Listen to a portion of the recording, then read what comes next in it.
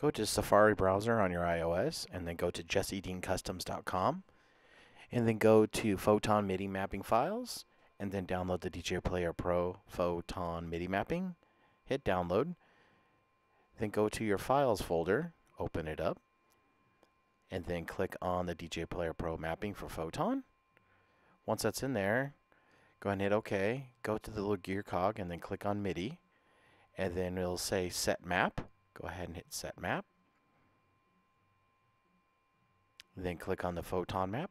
Once that's done, you are ready to go. Thank you for watching.